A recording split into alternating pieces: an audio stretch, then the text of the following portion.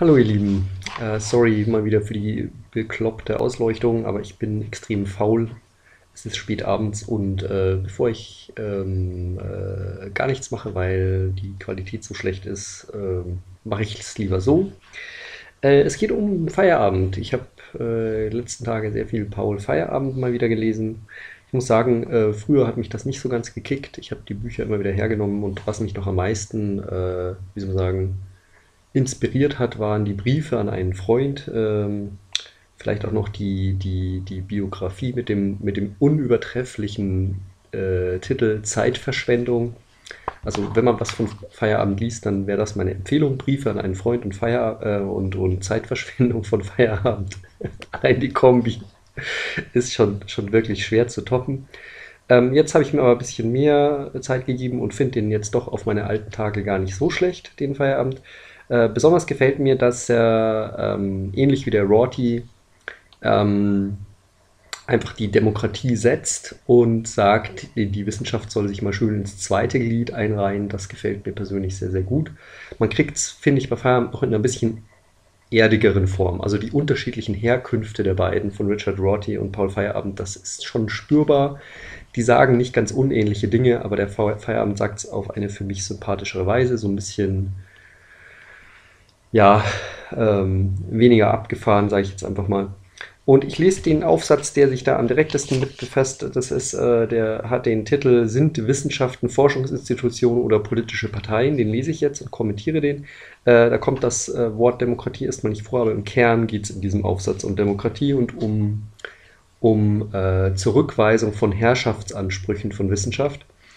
Und das mag ein bisschen heutzutage äh, outdated sein oder nicht so ganz aktuell daherkommen, weil man manchmal den Eindruck haben kann, äh, Wissenschaft bräuchte doch sehr viel mehr Einfluss auf die Politik, als sie derzeit hat. Und im Zeitalter von Fake News sollte man doch alles andere tun, als Wissenschaftsbashing zu machen. Aber für mich ist das die andere Seite der Medaille. Also warum wir überhaupt das Problem haben, dass Wissenschaft so wenig Einfluss hat auf Politik, liegt daran, dass wir Institutionen haben, die nicht demokratisch sind und in nichtdemokratischen Institutionen haben tatsächlich paradoxerweise Wissenschaften nicht ganz so viel Einfluss auf Politik. Ähm, das heißt, man kriegt eigentlich beides zusammen. Man kriegt also guten wissenschaftlichen Einfluss auf, auf Politik genau durch mehr Demokratie. Das ist, äh, erschließt sich vielleicht nicht auf den ersten Blick, aber wenn man vergleicht das Institutionensetting, ähm, das wir derzeit haben, mit eben einem demokratischeren Institutionensetting, dann sieht man das sehr deutlich. Ähm, paradoxerweise ist halt äh, ähm, Bildung und, und Wissenschaft lange Zeit eben ein Herrschaftsinstrument gewesen, so wie es von Platon ja auch mal erdacht wurde mit seiner Akademiegründung. Das hat sich einfach langfristig ausgewirkt und führte dazu, dass eigentlich immer die, die Akademiker auf der Seite der, der, der Mächtigen waren. Und Demokratie ist einfach eine Umgangsform, wo man Macht mit Macht anders umgeht, wo man Macht gleicher verteilt mit Vorsatz oder sagen wir sagen kategorisch gleich verteilt und äh, dann muss natürlich die Wissenschaft ins zweite Glied zurückrücken. Also Wissenschaft ist natürlich nichts Schlechtes, Wissenschaft ist wunderbar, Wissenschaft äh, ist extrem nützlich im Idealfall, aber Wissenschaftler äh, zu sozusagen Metapolitikern zu machen oder Wissenschaftlern zu, zu so Großvisieren zu machen, zu, zu den eigentlichen Strippenziehern und Herrschern, das ist halt eine schlechte Idee. Und ähm, das äh, ist vielleicht jemandem noch ein bisschen präsenter, der halt äh, in den Platon ein bisschen zu tief reingeguckt hat oder vielleicht auch, auch, auch jemanden, der zum Beispiel einen, wie ich das habe, einen orthodoxen Popperianer in seiner Verwandtschaft hat. Äh, und wenn man das mal erlebt hat, was das heißt, also wie dann Wissenschaft verabsolutiert wird und also auch die ganze, wie soll man sagen, ähm, Unmenschlichkeit, die Wissenschaft manchmal auch an sich haben kann, also so überhaupt gar nicht wahrgenommen wird und gar nicht gewürdigt wird. Also wenn man das erlebt hat, was auch der Feierabend erlebt hat, weil er eben in seinen jüngeren Jahren sehr viel mit Popper zu tun hatte und daraus dann eben seine, wenn man das überhaupt so nennen will, äh, philosophische Position entwickelt hat, was er später auch sehr bereut hat, dass er das überhaupt gemacht hat. Auch das hochsympathisch, der Mann, der Feierabend. Also wenn man das alles erlebt hat, dann, dann wird man sehen, dass es ein Problem gibt mit der Wissenschaft, wenn sie politisch wird und dass man das also sehr klug bauen muss und nicht da unvorsichtig werden darf. Jetzt also der Aufsatz in diesem wunderschönen Band Wissenschaft als Kunst. So heißt der. Ich weiß nicht, ob man das lesen kann, wahrscheinlich nicht. So, ja, aber immer noch Spiegelschritt Wissenschaft als Kunst. Und das ist der letzte Aufsatz, das ist so eine lose, lose Aufsatzsammlung, die lose was miteinander zu tun hat. Und das sechste Kapitel heißt eben, sind die Wissenschaften Forschungsinstitutionen oder politische Parteien. These steht hier. Wissenschaftliche Ansichten können Ideen, die ihnen widersprechen, nur dann entfernen, wenn man sie wie Parteiparolen verwendet.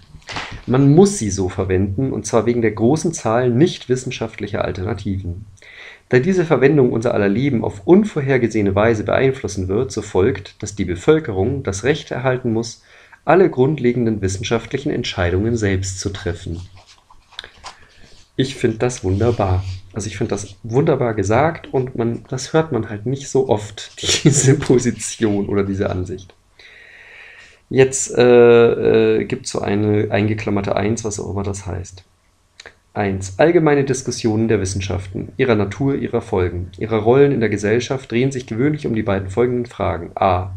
Was ist Wissenschaft oder etwas weniger steif? Wie gehen die Wissenschaften vor? Was machen die so? Und was zeichnet sie aus? Und b. Wie wichtig sind die Wissenschaften? Das ist eine, auch eine herrliche Frage, die selten gestellt wird. Um Beispiel, zum Beispiel hing beim Prozess gegen den Kreationismus in Arkansas viel von der Frage ab, ob es sich beim Kreationismus um eine wissenschaftliche Disziplin handelt, die man also in den Schulen lehren kann, ohne die Trennung von Staat und Kirche zu verletzen. Man macht eine Fußnote, siehe, sie, Fußnote, siehe das Urteil des Bundesrichters für den Distrikt Arkansas gegen das Land Arkansas vom 5. Januar 1982 zur Gänze publiziert in Science 1982 und so weiter und die Forderung, traditionelle Methoden der Diagnosis und Therapie in der Medizin wiederzubeleben, entstand, weil einige Leute glauben, dass die Wissenschaften zwar in der Physik und der Astronomie sehr erfolgreich gewesen sind, dass ihre Erfolge in der Medizin und der Psychologie aber alles andere sind als eine sichere Sache. Auch das kann man heutzutage für heikel halten im Zeitalter von Alternativmedizin, aber da wird halt wenig analysiert, warum überhaupt die Alternativmedizin so eine Attraktivität und so eine Verbreitung finden konnte. Das hat nämlich Gründe und die hat sehr viel damit zu tun, wie wir unser medizinisches System gebaut haben. Ne? Da, auch dazu gibt es ja mehrere Videos hier auf äh, Notlos. Also wer das will, kann sich das gerne zusammensuchen. Ähm, äh, ich bin alles andere als ein Fan der Alternativmedizin, aber trotzdem kann man ja mal die Gründe ganz nüchtern sich anschauen. Es, also die Gründe für die Verbreitung der Alternativmedizin. Was treibt denn die Leute in die Arme der Alternativmedizin, wenn man einfach mal unterstellt, dass Menschen nicht blöd sind? Es scheint mir nun, dass die beiden Fragen bisher keine befriedigende Antwort erhalten haben, schreibt jetzt Feierabend. Gesetzliche Entscheidungen, die sich auf die Wissenschaften oder auf wissenschaftlich beeinflusste Prozesse beziehen, beruhen auf Gerüchten, nicht auf wohlüberlegten Argumenten. Aber wie sieht eine zufriedene Antwort auf die Fragen A und B aus? Also nochmal die Fragen, äh, was ist Wissenschaft, beziehungsweise wie gehen die Wissenschaften vor, ist Frage A und wie wichtig sind die Wissenschaften, ist Frage B. Und wie kann man also jetzt Antworten auf diese Fragen überhaupt erhalten? Eingeklammert 2. Die Frage A, also was ist Wissenschaft, nimmt an, dass alle wissenschaftlichen Disziplinen in allen Stadien ihrer Geschichte gewisse Züge gemeinsam haben und dass man diese Züge aufzeigen, beschreiben und verstehen kann, ohne die komplexe Praxis zu verstehen, äh, der sie angehören. Die Annahme setzt voraus, dass Wissenschaftler, die ja die Tendenz haben, alles zu kritisieren und zu verändern, doch gewisse Dinge unberührt lassen. Und das sind eben die Dinge, die ihre Verfahren in Anführungszeichen wissenschaftlich machen. Also irgendwas muss ja der Fixpunkt der Wissenschaft sein, den sie nicht antastet und von dem aus sie dann anderes kritisiert. Und was ist dann das jetzt?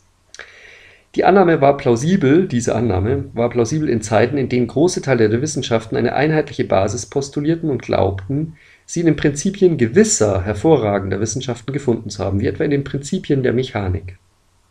Wissenschaftlich sein hieß eben hieß dann eben, also damals hieß dann eben den Prinzipien der Mechanik so genau wie nur möglich folgen. Heute ist die Annahme nicht mehr plausibel. Die Entwicklungen, die zur Relativitätstheorie und zur Quantentheorie geführt haben, haben nicht nur grundlegende Prinzipien wissenschaftlicher Methodik verletzt, sie haben auch zu Theorien geführt, die scheinbar den Grundsätzen des vernünftigen Denkens selbst widersprechen, zum Beispiel Grundsätzen wie etwa Trennung von Subjekt und Objekt, Kausalität, Gesetze der formalen Logik, mechanische Modelle und so weiter. Niemand kann nach so drastischen Veränderungen, also Feierabend spricht hier aus einem gewissen historischen Bewusstsein, also einem wissenschaftshistorischen Bewusstsein,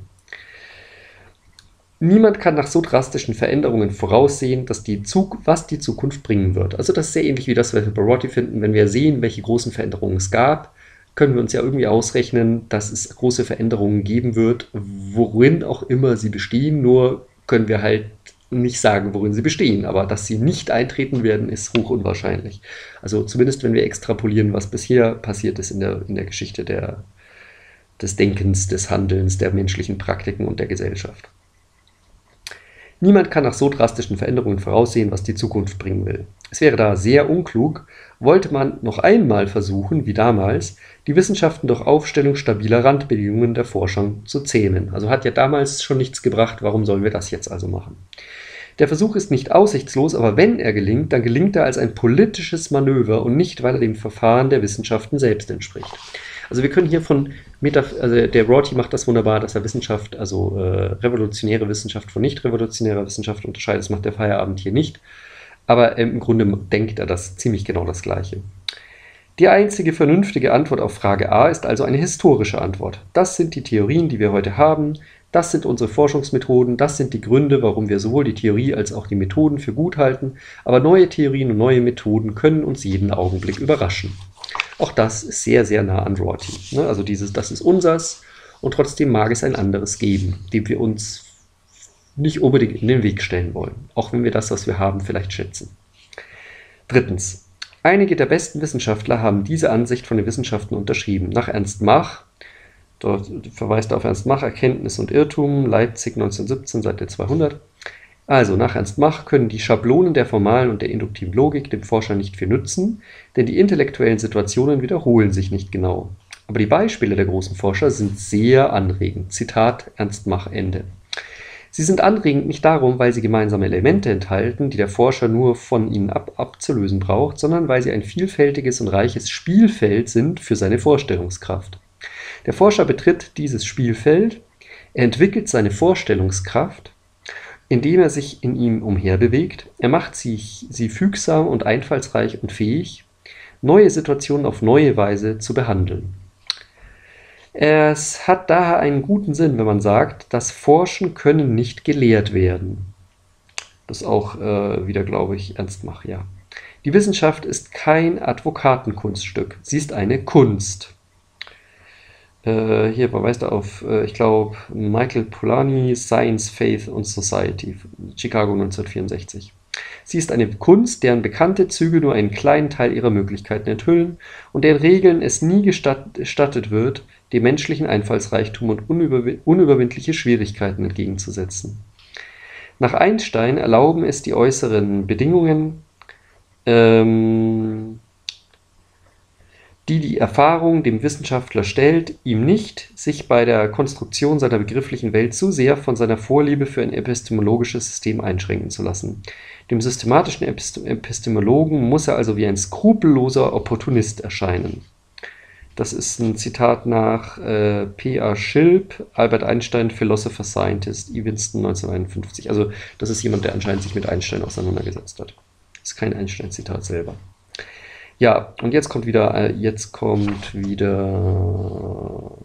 ah nee, jetzt kommt wieder ein weiteres Zitat von R.W. Clark.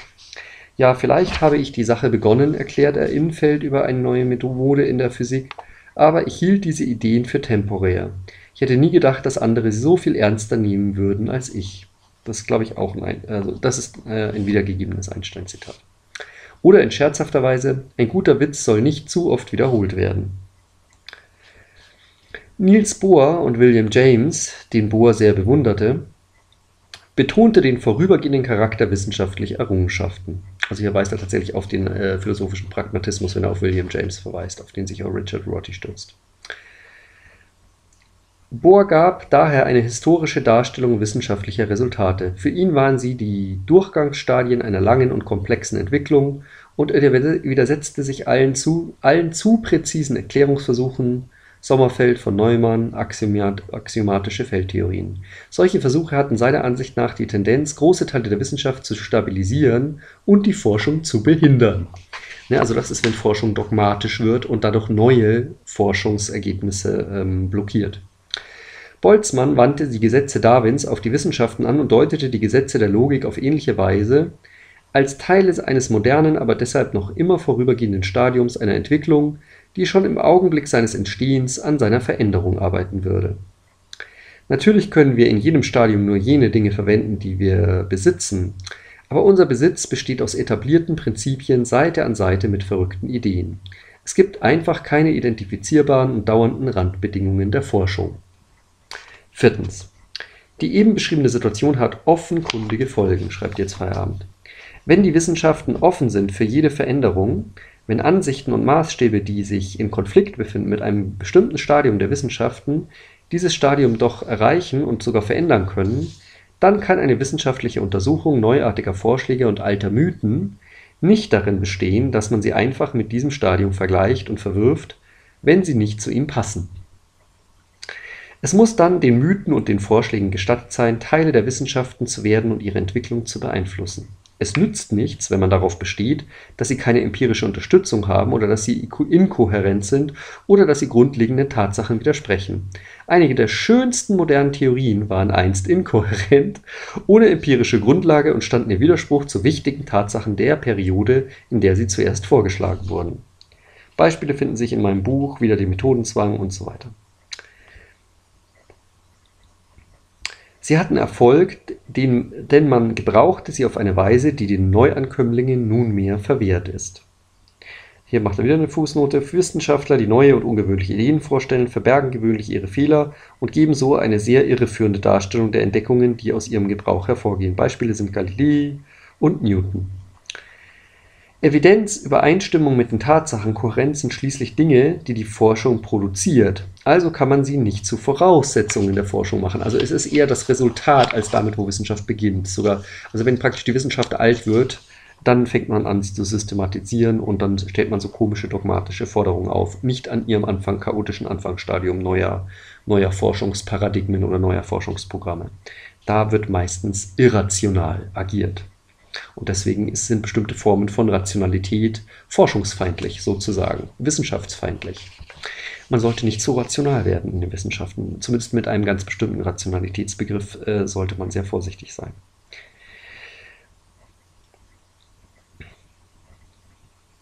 Außerdem kommt es oft vor, dass dieselbe Forschung die Evidenz für eine fragwürdige Idee produziert und ihre Schwierigkeiten beseitigt, zugleich jene Ansichten ihrer Evidenz beraubt und mit Schwierigkeiten überhäuft, die angeblich die Unbrauchbarkeit der Idee beweisen. Zum Beispiel unterstützte einmal die Evidenz für die lineare Fortpflanzung des Lichts, sofortiges Verschwinden der von der dunklen Seite des Mondes bedeckten Sterne, wohl definierte Schatten, die Idee, dass das Licht aus seitlich voneinander unabhängig Strahlen besteht und befand sich im Widerspruch zur Idee, dass es aus Wellen besteht. Wellen, so lautete das Argument, haben die Tendenz, sich auszubreiten, während die Evidenz doch zeigt, dass Lichtbündel zusammenbleiben. Für Newton bedeutete das das Ende der Wellentheorie. Aber eine entschiedene Anwendung der Wellentheorie führte zum Ergebnis, dass sie die fatale Evidenz in gewissem Ausmaß reproduzieren konnte. Es findet eine kleine Abweichung in den Schatten hinein statt. Newton hatte dieses Phänomen bemerkt, er nannte es die Inflexion des Lichtes, es war ihm ein Zeichen dafür, dass materielle Gegenstände der Sitz von Kräften mit kurzer Reichweite sind. Die Wellentheorie führte, nach Newton, zum gleichen Ergebnis und zwar ohne jeden Hinweis auf Kräfte. Aber wenn es keine Kräfte gibt, dann zeigt die Inflexion, dass die Lichtstrahlen nicht immer gerade sind und widerlegt so die grundlegende Annahme der Strahlentheorie. Ein zweites Beispiel. Die Idee, dass die Atomgewichte Vielfache des Atomgewichts des Wasserstoffes sind, stand im Widerspruch zu zahlreichen Experimentalergebnissen bis ihre Anwendung auf diese Ergebnisse sie als Mischungen entlarvte und so die Unterstützung für eine Kontinuitätstheorie von Atomgewichten in bedeutendem Ausmaß verringerte. Verwirft man eine Hypothese, weil sie einer hochkonfirmierten Theorie widerspricht, dann zäumt man also das Pferd beim Schwanz auf der Konflikt zeigt, dass die Hypothese zum Zeitpunkt des Vergleiches einer detaillierten und empirisch gut unterstützten Auffassung widerspricht, er zeigt nicht, dass die Auffassung nicht von der Hypothese verdrängt werden kann. und es ist auch nicht möglich, Ideen darum zu verwerfen, weil sie bereits einmal geprüft wurden und die Prüfung nicht bestanden, denn die Wissenschaft heute ist nicht dieselbe Wissenschaft, die sie einst prüfte. also sozusagen, nur weil man einmal das gezeigt hat, dass was äh, falsch ist, heißt das nicht, dass in Zukunft unter anderen, unter anderen Voraussetzungen auch noch falsch sein wird. ja, so wird, wird die Wissenschaft wunderbar schwankend, was sie nie sein wollte. Also bei Platon nicht, bei Descartes nicht und bei allen nahezu heutigen Wissenschaftlern. Also es gibt eine Riesenpräferenz für Sicherheit in der Wissenschaft. die, die aber der Wissenschaftspraxis, den Realitäten der Wissenschaft also ähm, sehr, sehr stark widerspricht. Also man könnte sagen, die Wissenschaft frisst ihre eigenen Voraussetzungen, ihre eigenen Motive, ihre eigenen Kinder. Auch der Blumenberg beschreibt das wunderbar, dass man am Ende von Forschung oft, oft nicht mehr weiß, warum man ursprünglich zu forschen angefangen hat, beziehungsweise die Motive, aus denen heraus man ursprünglich mal angefangen hat zu forschen, äh, in, geneigt ist, in Frage zu stellen. Die modernen Wissenschaften sind voll von Bestandteilen, die in der Vergangenheit oft als unwissenschaftlich verworfen wurden, und zwar mit ziemlich guten Argumenten. Ein Beispiel ist die Philosophie des Atomismus. Also der, der, der Feierabend ist hier historisch sehr gerecht, weil er nicht das macht, was wir heute häufig machen, wenn sich eine Theorie durchgesetzt hat, dann wird halt die Geschichte auch von den Siegern geschrieben. Und da wird nicht mehr die Geschichte miterzählt, dass ursprünglich mal die Gegner der Theorie wirklich sehr, sehr gute Argumente hatten, natürlich vor dem Hintergrund äh, bestimmter Annahmen, Voraussetzungen, Hintergründe und so weiter, aber sozusagen, äh, das wird dann meistens nicht mehr miterzählt, obwohl das damals äh, also so erscheinen dann vergangene Generationen einfach nur noch als irrational, weil man sozusagen den vergangenen De Debattenstand einfach äh, verdrängt zugunsten der Geschichte der, der sich gerade durchgesetzt habenden Theorie. Und äh, das macht der Feierabend hier nicht. Ein Beispiel, ein Beispiel ist die Philosophie des Atomismus. Sie wurde im Westen in der Antike eingeführt, um Phänomene zu retten wie das Phänomen der Bewegung. Der Atomismus wurde von der dynamisch besser ausgebildeten Philosophie des Aristoteles überholt, kehrte mit der wissenschaftlichen Revolution des 16. und 17. Jahrhunderts zurück und wurde dann wieder von den Kontinuitätstheorien eingeschränkt, spielte im 19. Jahrhundert eine große und sehr umstrittene Rolle auf dem europäischen Kontinent hielten sich viele Wissenschaftler in ihren Äußerungen zum Atomismus sehr zurück und ist nunmehr durch die Komplementaritätsauffassung wieder teilweise eingeschränkt. Ein anderes Beispiel ist die Idee der Bewegung der Erde. Sie entstand im Altertum, wurde dann von den mächtigen Argumenten der Aristoteliker geschlagen, galt für Ptolemäus, den größten Wissenschaftler seiner Zeit, als eine unglaublich lächerliche Auffassung und kehrte doch im 17. Jahrhundert mit Triumph zurück. Was für Theorien gilt, gilt auch für Methoden. Die Erkenntnis, im Unterschied zu angesammelten Kenntnissen, entstand aus Spekulation bei Anaximander, verbunden mit rein logischen Überlegungen (Parmenides, vielleicht auch schon Xenophanes). Dann führte Aristoteles empirische Methoden ein. Diese wurden durch die mathematischen Methoden des Galilei und Descartes und einen ganz anderen Empirismus ersetzt (bei Aristoteles weiß man, was die Erfahrung ist, nicht aber bei den Nachfolgern Galileis der Streit zwischen Modellbauern und den Konstrukteuren rein mathematischer Gesetze spielte im 19. Jahrhundert eine große Rolle, bis im 20. Jahrhundert an verschiedenen Fronten, aber mit beträchtlich vermehrtem mathematischem Apparat, eine Wiederbelebung aristotelischer Gedankengänge versucht wurde. Fußnote: Aristotelische Gedankengänge werden von Physikern nicht mehr mit der Verachtung behandelt, die ihnen gelegentlich noch immer bei Wissenschaftstheoretikern zuteil werden. Bohm, Prigogine und andere haben viele freundliche Worte für diesen großartigen Denker. Besonders, interessante in diesem Zusammenhang, besonders interessant in diesem Zusammenhang ist H. H. Primas Chemistry, Quantum Mechanics and Reductionism, Berlin 1980. Vergleiche auch mein Vorwort zu diesem Band. Die Lektion aus dieser historischen Skizze ist klar: Vorübergehende Fehlleistungen einer Theorie, eines Standpunkts, einer Ideologie können nicht, können nicht als dauernde Gründe für ihre Beseitigung gelten eine Wissenschaft, der es der daran liegt, die Zahl wichtiger Entdeckungen zu vermehren, muss alle Ideen der Menschheit zum möglichen Gebrauch bereithalten, also spricht stark für ein wissenschaftshistorisches Bewusstsein, nichts zu vergessen, was es mal gab. Und man legt es einfach zu sich ins Regal und wird halt sehr museal. Vielleicht ist es ja nochmal für was gut, es ist sozusagen die Messi-Theorie der Wissenschaft, weil man nichts wegwirft.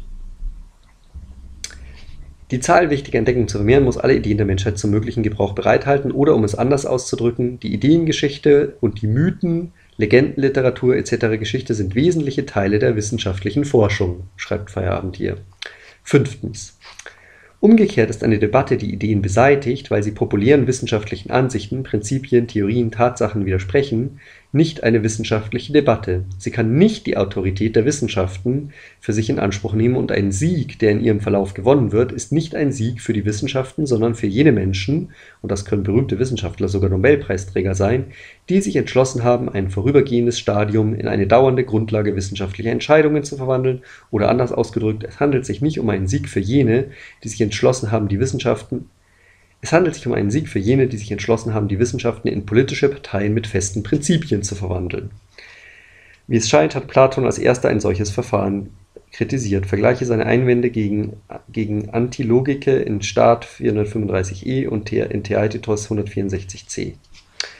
Ähm, das widerspricht zum Beispiel ein bisschen Rorty, weil Rorty möchte äh, tatsächlich bestimmte Paradigmen ein für alle Mal abschaffen, zum Beispiel metaphysische Paradigmen zu Grundla äh, zu, zugunsten von pragmatistischen Paradigmen. Also in dem, dem Sinne ergreift äh, Rorty innerhalb der Wissenschaft pragmatistische Partei und er macht das halt ganz offen äh, ohne auf die Wahrheit oder die Wirklichkeit Bezug zu nehmen. Er nimmt da einfach ein anderes Paradigma. Äh, wenn ich den Feierabend hier richtig verstehe, macht der Feierabend das hier nicht. Er möchte, dass wir tatsächlich nichts vergessen und nichts verdrängen, weil er will die Wissenschaft nicht zu einer politischen Angelegenheit machen im Sinne von Parteipolitik. Der Sieg der Evolution, die Ersetzung der Kirchenautorität durch die Autorität von Wissenschaftlern, Erziehern, Durchschnittsintellektuellen, die Vertreibung der Seele aus der Psychologie, die Eliminierung der Stammesmedizin aus der medizinischen Praxis des 19. Jahrhunderts in Amerika waren alle politische Siege der eben beschriebenen Art. Die Gewohnheit, Entwicklungen zu einem solchen Sieg führen, im Lichte der Glaubensansichten der siegreichen Partei zu sehen, hat diesen Umstand oft verborgen. Die Geschichte ist immer die Geschichte der Sieger.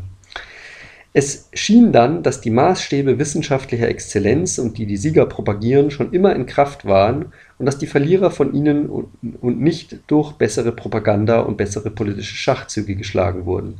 Hervorragendes Beispiel der Illusion, die Auseinandersetzung zwischen der aristotelischen Physik und der neuen Wissenschaft des Galileo und seiner Nachfolger.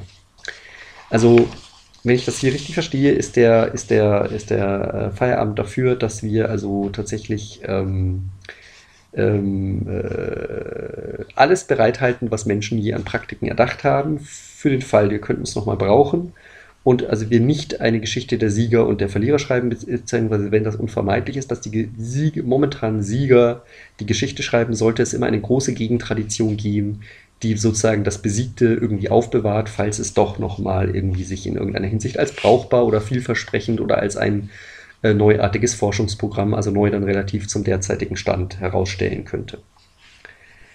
Die zentrale These der beiden letzten Abschnitte war, dass eine, also jetzt sechstens, die zentrale These der letzten beiden Abschnitte war, dass eine wissenschaftliche Untersuchung von Ideen, Prozeduren, Standpunkten nicht darin besteht, dass man diese Dinge mit den Methoden, Tatsachen und Theorien der angemessenen wissenschaftlichen Disziplin vergleicht und sie verwirft, wenn sie nicht in diesen Rahmen passen. Ein solches Verfahren ist nicht nur außerordentlich naiv, es widerspricht auch dem, was wir von den wichtigen Episoden in der Geschichte der wissenschaftlichen Forschung wissen.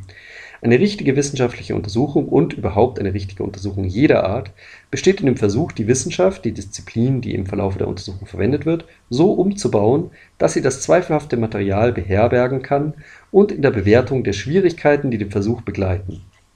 Und hier muss man einen Sinn für Perspektive beibehalten. Große Hindernisse können überwunden werden, Lange erfolglose Zeiträume können durch brillante Erfolge abgelöst werden, die sich ihrerseits als illusorisch und als die der Vorläufer sogar noch größerer Fehlschläge herausstellen können.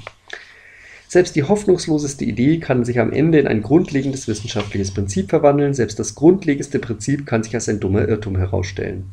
Und vergessen wir nicht, dass die Maßstäbe, aufgrund denen wir das alles beurteilen, genauso beweglich sind wie die beurteilten Leistungen. Für die Aristoteliker war eine Theorie der Bewegung nur dann befriedigend, wenn sie alle wichtigen Bewegungsformen umfasste, die Ortsbewegung und das Erröten, die Bewegung der Sterne, wie auch den Übergang vom Wissen von einem Lehrer auf einen Schüler, ein für Aristoteles gerne verwendetes Beispiel. Für die neue Mechan mechanische Bewegungslehre aber war das Maß des Erfolges die Leistung auf einem sehr engen Gebiet, nämlich der Ortsbewegung einfacher, unbelebter Gegenstände unter sehr vereinfachten Bedingungen jede Idee, die sich zu einer bestimmten Zeit außerhalb der Wissenschaften befindet, kann eine Reform in den Wissenschaften herbeiführen, jede Idee innerhalb der Wissenschaften kann auf dem Misthaufen vorsintflutlicher Vorurteile enden. Also nichts gewiss weiß man nicht in der Wissenschaft. Siebtens. Andererseits ist, ist, es klar, dass die Wissenschaften weder die Zeit noch das Geld noch die Zahl von Forschern haben, die nötig wäre, um, ihre Gebiet, um ihr Gebiet all den vielen Ideen, Traditionen und Einfällen auszusetzen, die in der Gesellschaft, die sie bezahlt, geglaubt und respektiert werden. Also das ist also im Sinne der Wissenschaftsökonomie schwer vorstellbar. Das ist sehr nett vom, vom Feierabend, dass er das einräumt, dass uns das als Wissenschaftler überfordert, wenn wir das fordern würden. Auch hat diese Gesellschaft nicht genug Geld, um alle diese Ideen und Traditionen auf wissenschaftliche Weise verfolgen zu können. Also müssen wir uns entscheiden. Aber wie machen wir das und vor allem, wer entscheidet das? Man muss also eine Auswahl treffen. Vorschläge müssen eliminiert werden, ohne dass sie auf die angegebene Weise untersucht worden werden. Also obwohl sie sehr vielversprechend, sich als sehr vielversprechend hätten rausstellen können, hätte man sie untersucht. Aber man hat eben ist eben ein Mensch, ein bedürftiges Wesen und hat also daher ökonomische Rahmenbedingungen, Grenzen. Man muss seine Zeit, Kraft, Aufmerksamkeit auf irgendwas konzentrieren und kann nicht alles gleichzeitig tun. Die Lage ist in den Wissenschaften und im Alltagsleben ist hier genau dieselbe. Wir wählen Berufe, Interessen, Partner, Länder, wir treffen Entscheidungen, die uns und andere grundle auf grundlegende Weise beeinflussen, aber ohne ein detailliertes Studium der Möglichkeiten, die uns und andere zur Verfügung stehen. Also unser, unsere Wahl ist immer unvorstellig, immer ungerecht, ist nie fair, auch wenn wir uns das gerne vormachen und uns da gerne äh, in die Tasche lügen. So auch in der Wissenschaft. Wir untersuchen einige dieser Möglichkeiten, andere verwerfen wir einfach ohne auch nur einen Blick in ihre Richtung und das mit gutem Recht, denn alle, allen weisen Menschen aller Zeitalter ist es noch nicht gelungen, auch nur zu beginnen mit einem vollständigen Studium aller möglichen Lebensgeschichten. Die Analogie zwischen den Wissenschaften und dem Leben geht sogar noch weiter. Der Entschluss, wichtige Möglichkeiten zu übergehen, führt fast zu ein, immer zu, einem irreversi zu irreversiblen Änderungen. Ich habe mich entschlossen, in einem Land zu leben und nicht in einem anderen. Ich lerne die Sprache dieses Landes. Ich lerne eine, eine, seine Kunst kennen, seine Literatur, seine Bordelle. Ich erwerbe mir Freunde, heirate vielleicht sogar, nehme am politischen Leben des Landes teil und werde dadurch ein anderer Mensch, als es der Mensch war, der mit der Wahl begann. Ich habe gewählt und nun ist es mir nicht mehr möglich, zur Situation zurückzukehren, in der ich gewählt habe und alle Gründe und alle Argumente noch einmal durchzugehen, die mich damals beeinflusst haben. Also hier geht es um die Pfadabhängigkeit des Erkennens und des Wissens. Jede dieser Gründe, jeder, jedes dieser Argumente setzt ja voraus, dass ich gewisse Dinge vernachlässige und andere auf besondere Weise deute.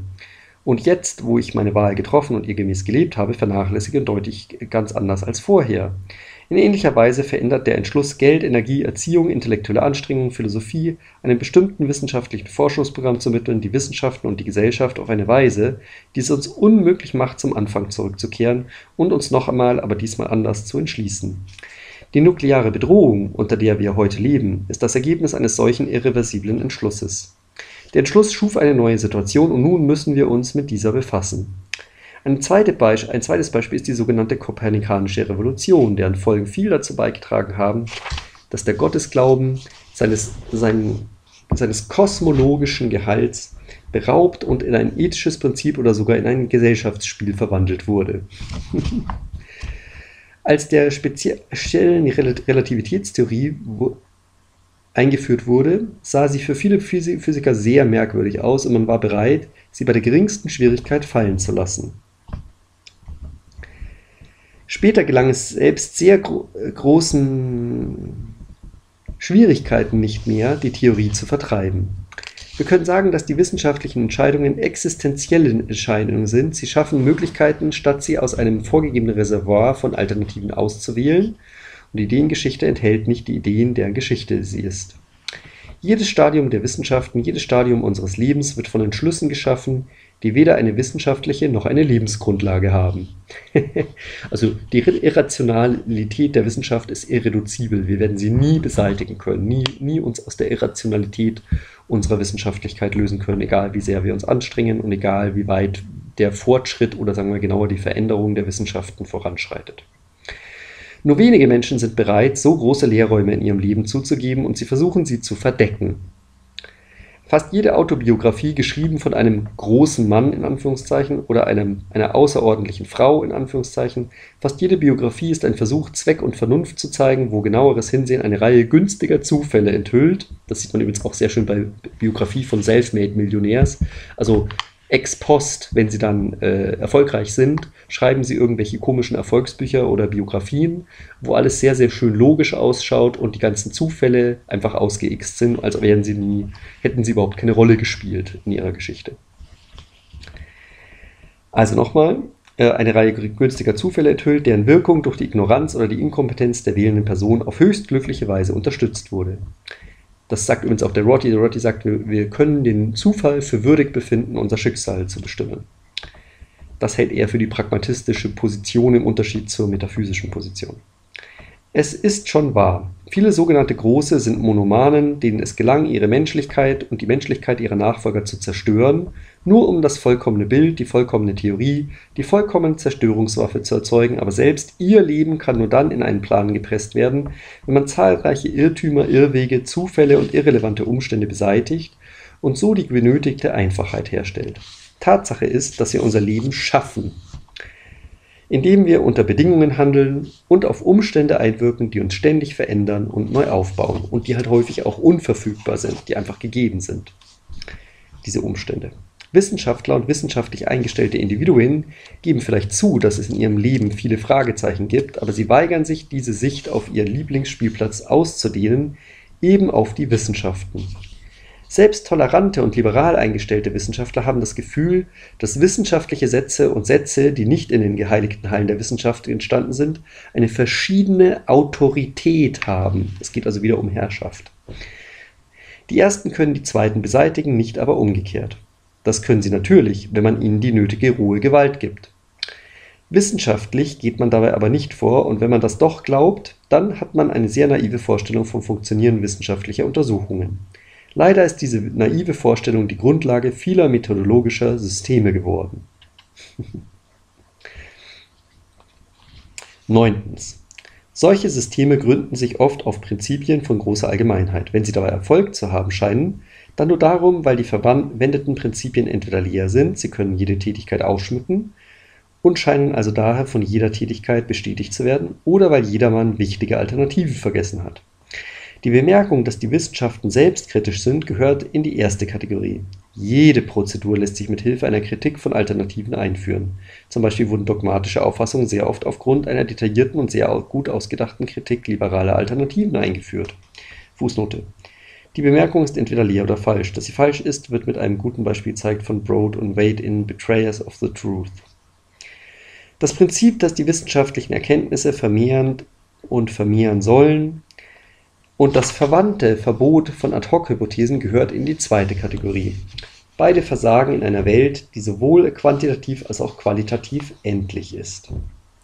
Wieder eine Fußnote. Die qualitative und quantitative Unendlichkeit der Welt war eine weitreichende Hypothese, die durch die Entdeckung der Renaissance neuen Auftrieb erhielt. Die Entdeckung Amerikas zeigte vielen Denkern, dass es auch viele Amerikas der Erkenntnis geben müsste. Die Anweisung gegen Ad-hoc-Hypothesen verwandelt diese interessante, aber sehr fragwürdige Hypothese in eine methodologische Trivialität. Fast alle methodologischen Regeln sind von dieser Art. Sie verstecken dogmatische Ansichten hinter scheinbar sehr einleuchtenden, rein formalen Forderungen. Außerdem sind Ad-hoc-Hypothesen oft der richtige Schritt so nahmen zum Beispiel einige Forscher in der Frühgeschichte der Elektrizität an, dass Zitat, Haare, Blätter, Zweige und andere kleine Dinge, die vom Bernstein angezogen werden, ein gemeinsames verborgenes Prinzip enthalten. Gilbert, der verborgene Qualitäten der verborgene Qualitäten des aristotelischen Analogon und von Ad-hoc-Hypothesen verachtete, hielt die Idee für zu dumm, um sie zu widerlegen und doch begann das Wachstum der Elektrizitätslehre mit der ersten Annahme, nicht mit der zweiten.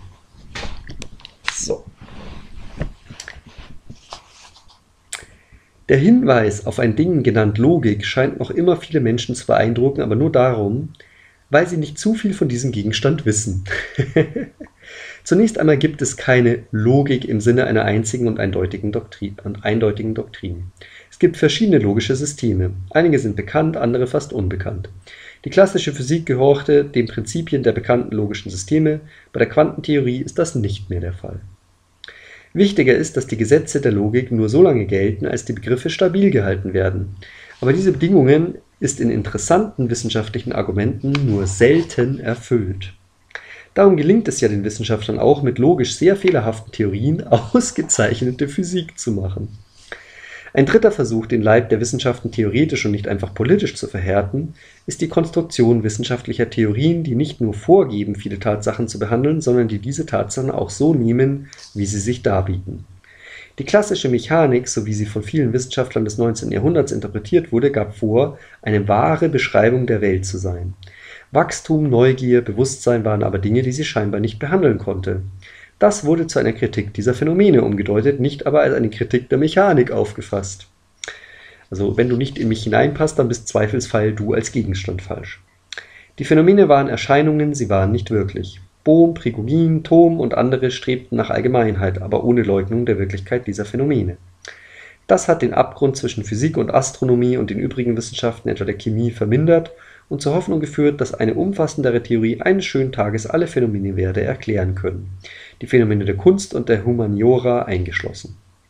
Aber unser Problem wurde dadurch nicht beseitigt. Eine Theorie wie die von Prigogin, ich weiß nicht, ob ich das hier richtig lese, Prigogin, ich lese den jetzt einfach so, wie, wie es mir plausibel erscheint, ist ebenso der Beseitigung durch entgegengesetzte Ansichten ausgesetzt wie jede andere Theorie. Wie würde eine solche entgegengesetzte Ansicht aussehen?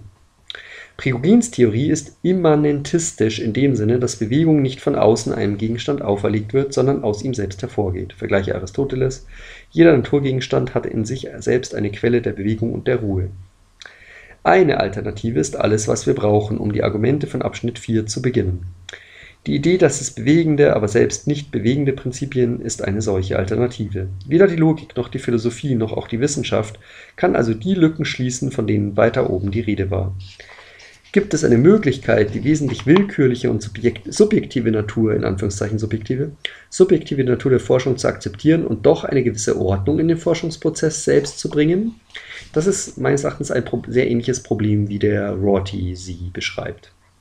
Also die scheinen sich am ähnlichen Problem abzuarbeiten, die beiden, Richard Rorty und Paul Feyerabend. Ich glaube, es gibt einen solchen Weg.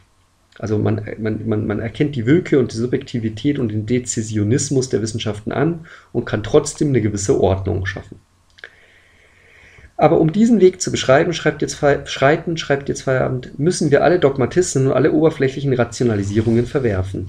Die subjektiven und willkürlichen Züge unseres Denken müssen zur Gänze enthüllt werden. Und dann läuft das Argument wie folgt. Das erste Stadium. Man braucht ein Pferderennen.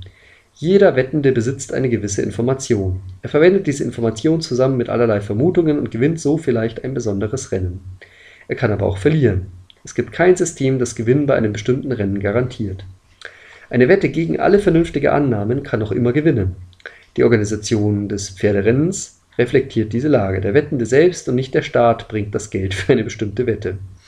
Es kann ihm gelingen, andere Menschen zu überreden und auch sie geben ihm dann Geld. Es gibt aber keine Gesetze, die automatisch einen Teil des Einkommens jedes Menschen für Wetten abzweigen. Ein Grund dafür ist natürlich der, dass Pferderennen nicht als national wichtig gelten. Andererseits besteht die Neigung, national wichtige Unternehmen von unseren unsicheren Aussagen demokratisch und nicht aufgrund der Aussagen der zuständigen Experten allein zu entscheiden.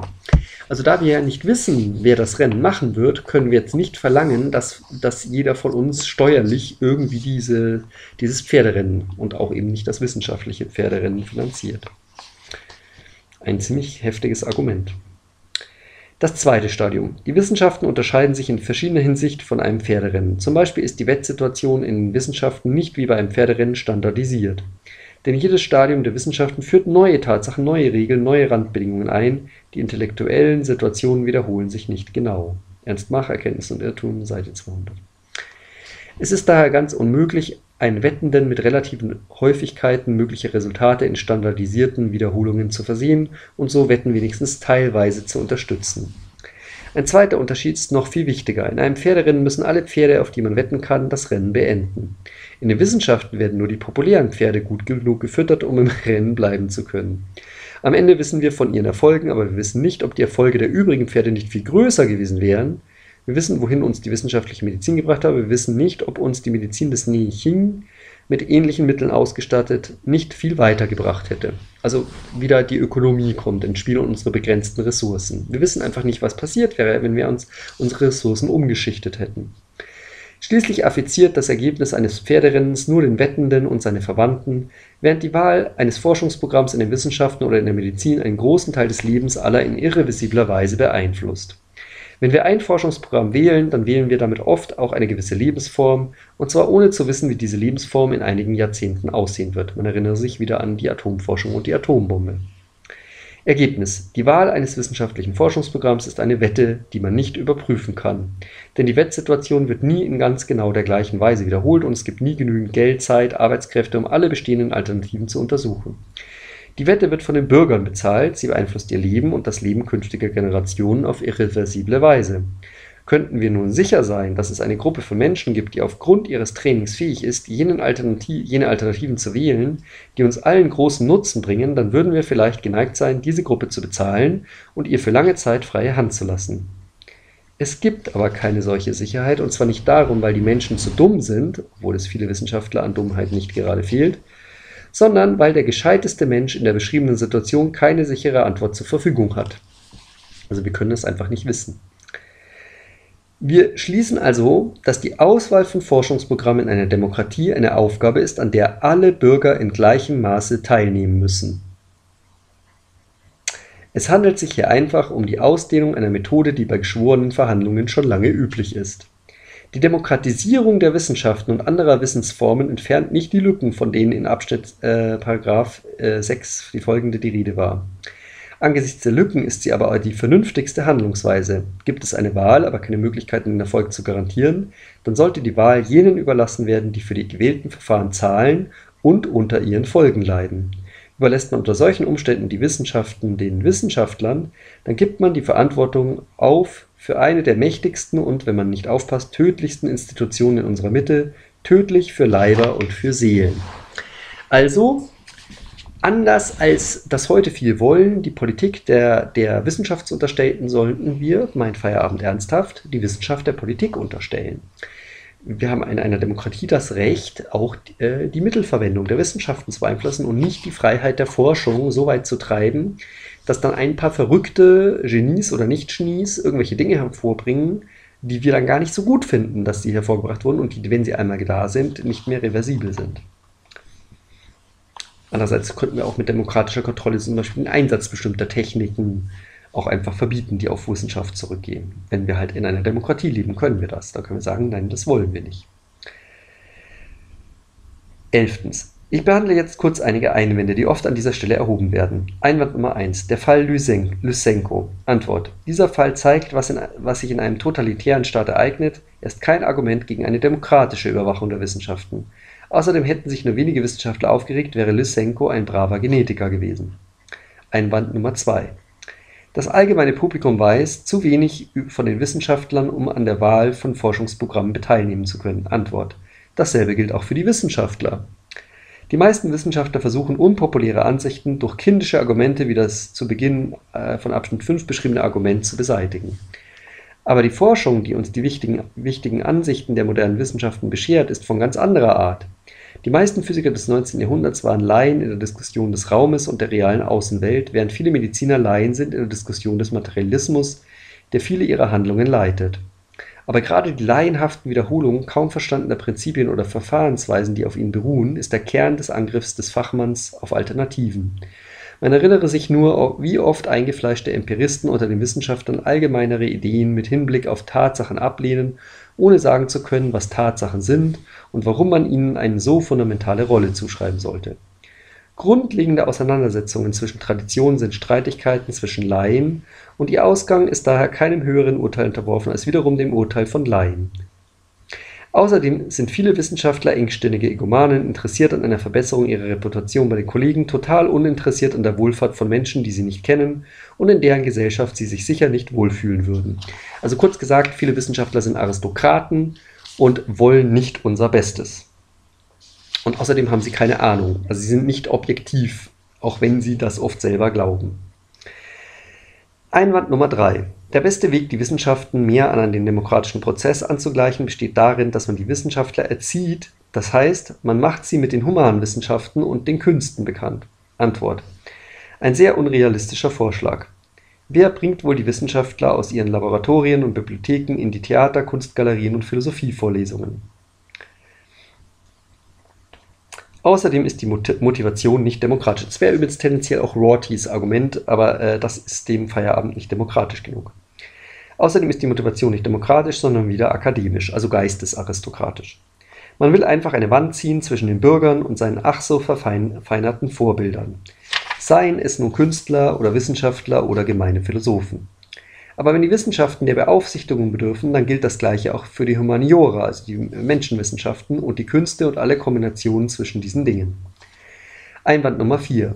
Das Simile von Pferderennen ist eine Karikatur der wirklichen Situation in den Wissenschaften. In den Wissenschaften haben wir Tatsachen und Gesetze, die gültig bleiben, ganz gleich, was nun anderswo geschieht, innerhalb der Fehlergrenzen. Diese Tatsachen stellen eine Verbindung her zwischen verschiedenen Forschungsprogrammen. Forschungsprogramme sind akzeptabel nur dann, wenn sie zu diesen Tatsachen und diesen Gesetzen führen. und sie ermöglichen es dem Wissenschaftler, Vorhersagen zu machen über die Struktur eines erfolgreichen Forschungsprogramms. Antwort. Er kann bemerken, dass er eine krude Konjunktur, die einem sehr erfolgreichen Forschungsprogramm widerspricht, den vom Programm gelösten Problemen nicht gerecht wird. Er kann nicht vorhersagen, was geschieht, wenn die Konjunktur im Detail entwickelt wird. Die Entwicklung kann ja zu einer Reform sehr grundlegender Tatsachen führen und die neuen Tatsachen, die aus der Reform hervorgehen, entsprechend vielleicht auch den neuen Randbedingungen, die mit dem Ausbau der Konjunktur verbunden sind. Zum Beispiel widerlegte die, die Beobachtung, dass ein im Brennpunkt einer Linse situierter Gegenstand einem Beachter nicht unendlich weit entfernt zu sein scheint, das Prinzip, das sowohl bei Kepler als auch bei Descartes eine wichtige Rolle spielt, dass ein Lichtpunkt durch eine Linse betrachtet an jenem Ort gesehen wird, an dem sich die Linse die die Linse verlassenen Strahlen nach rückwärts verlängert schneiden. Das Prinzip wurde aber beibehalten. Es wurde die Grundlage einer neuen Disziplin der geometrischen Optik, der es nicht mehr auf eine genaue Übereinstimmung mit allen Tatsachen des Sehens ankam. Die älteren Theorien der Optik hatten gerade eine solche Übereinstimmung gefordert. Was geschieht mit den kritischen Beobachtungen? Man nannte sie subjektive und eliminierte sie. Ähnliche und sogar noch radikalere Änderungen geschahen im Bereich der Psychologie. Der Malleus Maleficarum, einer der Grundtexte der Hexenkunde, enthält eine Phänomenologie, eine Ätiologie und Regeln für die rechtliche Behandlung einer Vielzahl von Verhaltensstörungen, wie man die Sache heute nennen würde. Alle diese Gegenstände und die vielen Tatsachen, die sich in der Phänomenologie finden, verschwanden im 17. Jahrhundert. Und warum? Weil die Theorie des dämonischen Ursprungs von Geisteskrankheiten unter Wissenschaftlern an Popularität verloren hatte. Ich sage, sie verloren Popularität, denn es gab nie eine klare Widerlegung. Und weil Gegenstände und Tatsachen, die mit verdächtigen Ansichten verbunden sind, oft auch verdächtigt werden und oft auch verdächtigt werden. Hier gibt es eine lange Fußnote äh, zu den, zur Humanpsychologie, aber die spare ich mir. Was verdächtigt werden, werden wird, kann man aber nicht voraussehen. Und warum? Weil unsere Ansichten davon, was respektabel ist und was nicht, sich oft auf entscheidende und unvorhersehbare Weise ändern. Zwölftens. Die Antwort auf die Frage B aus Abschnitt 1 ist nun offenkundig. Es hängt vom Standpunkt der Person ab, die das Urteil fällt. Ein praktisch eingestellter Mensch, der Kenntnisse und Macht über das materielle Universum gewinnen will, der überzeugt ist, dass ihm die Wissenschaften diese Macht geben werden und der immaterielle Einflüsse und Beziehungen für reine Träume hält, wird die Wissenschaften sehr verehren. Für einen spirituell eingestellten Menschen aber, dem es auf die Wohlfahrt der Seelen ankommt und der der Natur gegenübertritt wie einem Freund, die man gerne kennt, aber ohne die Suche nach Kenntnissen zu weit zu treiben, sind die Wissenschaften nicht nur nutzlos, sondern auch impertinent und gefährlich. Je besser sie sind, desto schlechter sind sie. Ein solcher Mensch mag zugeben, dass wir in einem wissenschaftlichen Zeitalter leben und also nicht ohne einen gewissen Ausmaß an wissenschaftlichen Kenntnissen auskommen können, aber dieses Zugeständnis wird ihn kaum mit den Wissenschaften versöhnen. Genauso wenig wie die Notwendigkeit, Heuschrecken in einem von Heuschrecken überfallenen Land zu studieren, die Einwohner dieses Landes mit den Heuschrecken versöhnen wird. In einer Demokratie liegt es an den Wählern, ne, wenn man ein solches Verständnis von Demokratie hat natürlich nur, dass es sie in Wahlen bestünde, liegt es an den Wählern, welche Macht gewissen Standpunkten gegeben werden soll. Und dasselbe gilt für die Rolle der Wissenschaften in der, in der Erziehung. Nehmen wir nun an, wir schätzen Wissen und Macht über die Natur, ist dann die Wissenschaft anderen Standpunkten überlegen? Die Antwort auf diese Frage ist, wir wissen es nicht. Wir wissen, was die Wissenschaften erreicht haben und wir kennen unsere gegenwärtige Situation. Wir haben aber keine Ahnung, was ein anderes Vorgehen erreicht hätte und wie wir seine Resultate beurteilt hätten, wären sie in unserer Mitte entstanden. Wir können die Frage sogar noch auf viel konkretere Weise stellen. Nehmen wir an, dass die wissenschaftlichen Methoden der Diagnose, Behandlung und Vermeidung von Krankheiten zur Gänze durch Methoden ganz anderer Art ersetzt werden, etwa von den Methoden des medizinischen Systems, das mit der Akupunktur verbunden wird. Würde dann die allgemeine Qualität des Lebens, so wie sie von den Kranken beurteilt wird, besser werden oder würde sie sich verschlechtern? Wir wissen es nicht. Die Lage ist sogar noch schlimmer. Es gibt nicht einmal wissenschaftliche Evidenz für oder gegen eine solche Antwort auf dieser Frage für eine bestimmte Antwort auf diese Frage. Wir haben isolierte Daten über Erfolge und Misserfolge in beiden Gebieten, aber wir haben keine Ahnung, wie das Gesamtbild aussieht.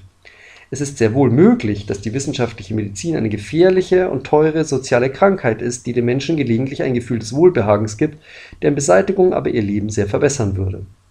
Das ist natürlich keine neue Einsicht. Jedes Stadium der Wissenschaften kann durch eine anfängliche, sehr absurde Konjunktur als eine Illusion erwiesen werden. Und das Ergebnis ist dasselbe wie vorher. In einer Demokratie liegt die letzte Entscheidung über den zu wählenden Forschungsweg und die zu lehrenden Resultate bei den Bürgern und nicht bei den Fachleuten. Ich fasse zusammen. Man kann die Wissenschaften als eine Erkenntnispolizei verwenden, die unwissenschaftliche Ansichten beseitigt, ohne von ihnen berührt zu werden. In diesem Fall sind sie politische Parteien oder Kirchen, den anderen Parteien oder Kirchen ebenbürtig. Oder man kann sie als Instrumente der Forschung verwenden. In diesem Falle liegt die Entscheidung über ihre eliminative Kraft bei den Bürgern der Gesellschaft, die sie bezahlt. Eine Trennung von Staat und Wissenschaft und eine demokratische Überwachung der Forschung braucht man in beiden Fällen. Also kurz gesagt, wir kommen aus einer Politisierung der Wissenschaft nicht raus. Wir können sie nur unterschiedlich spielen. Also wir können einfach die Wissenschaft zu, äh, zu Schlachtprogramm machen oder wir können uns halt einvernehmlich oder möglichst einvernehmlich in, demokratisch entscheiden, was wir erforschen wollen. Wir können es einer kleinen Elite überlassen, was erforscht wird, oder wir können es alle gemeinsam entscheiden, indem wir eben die Mittel, die für die Forschung benötigt ist, gemeinsam verwalten und auch gemeinsame Entscheidungen über ihren Einsatz und ihre Verwendung äh, machen. So viel zur Demokratisierung der Wissenschaft. Ceterum censeo, Demokratiam esse sortiendam und eben nicht äh, zu wählen. Ja, also Wahl ist einfach nicht ganz so schlau wie Losverfahren und Bürgerräte. Aber das ist natürlich nur meine persönliche Meinung. Lasst es euch gut gehen, ihr Lieben, und auch wenn euch das absurd vorkommt, was der Feierabend hier beschreibt, so ist es dennoch interessant. So ist es doch gut erfunden.